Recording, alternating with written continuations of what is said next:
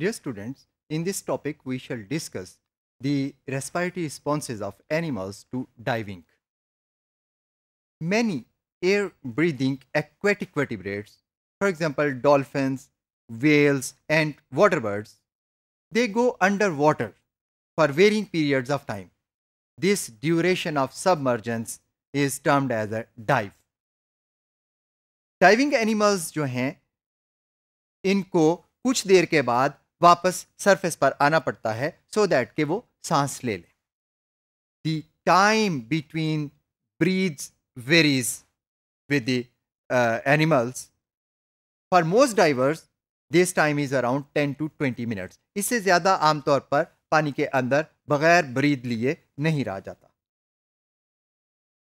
Students diving animals जब dive के process में होते हैं तो they are subjected to periods of hypoxia and anoxia hypoxia का मतलब होता है ऑक्सीजन थोड़ी मिकदार में अवेलेबल है, लेकिन एनॉक्सिया का मतलब होता है कि ऑक्सीजन बिल्कुल अवेलेबल नहीं है।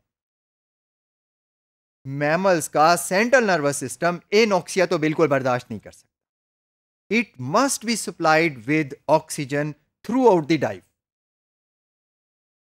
diving animals utilize oxygen stores in their lungs, blood, and tissues to supply oxygen to critical tissues. Most diving animals have high hemoglobin as well as myoglobin content. मायोग्लोबन अपने अंदर ऑक्सीजन को store करके रखती है जो ऐसे वक्तों के लिए काम आती है oxygen is preferentially delivered to brain and heart.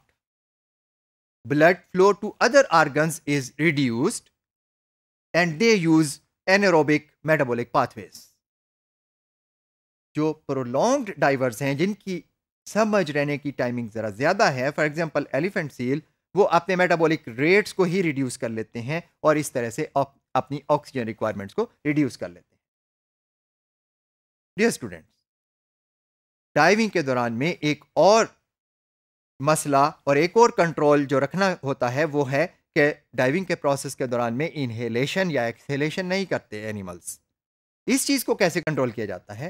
तो इसके लिए भी स्पेशलाइज्ड रिसेप्टर्स हैं which detect the presence of water they inhibit inspiration during a dive such receptors are situated in glottis mouth और नोज़ स्पीशीज़ के हिसाब से मुख्तफ जगहों पर इनकी लोकेशन होती है।